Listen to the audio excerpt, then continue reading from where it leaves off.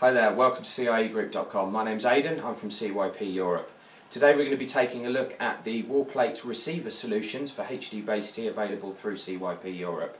You will see in my hand here I have the PU507WPRX which is our wall plate version of the PU507RX.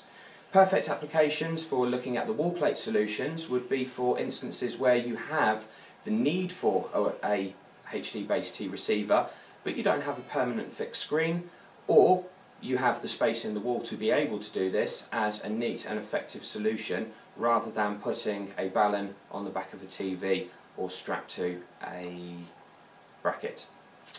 I also have here the PU514L WPRX which is our light HD base T version of the 507. So let's take a look at the product in a bit more detail. In front of you now you see the PU514LWPRX, our light solution for the 514LRX receiver. Your signal will be taken from a light matrix or a light transmitter over single Cat5 E6 or 7 up to a distance of 60 meters.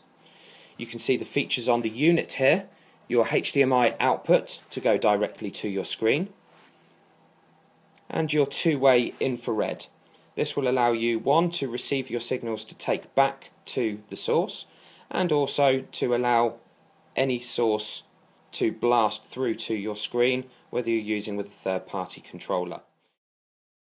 Now taking a look at the full 5-play version, this is the PU507WPRX. Feature differences between this and the 514 version is that you will notice there is no power connector here. This unit does run on power over Ethernet directly from the transmitting source.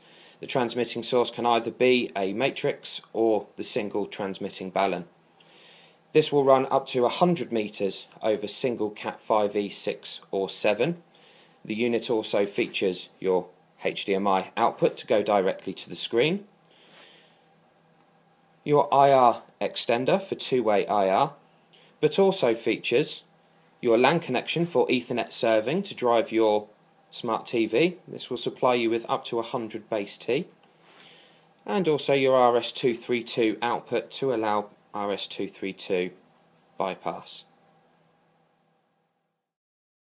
I'm Aidan from CYP Europe and today we've been looking at the PU507 WPRX and the 514L WPRX, now available through CIEgroup.com.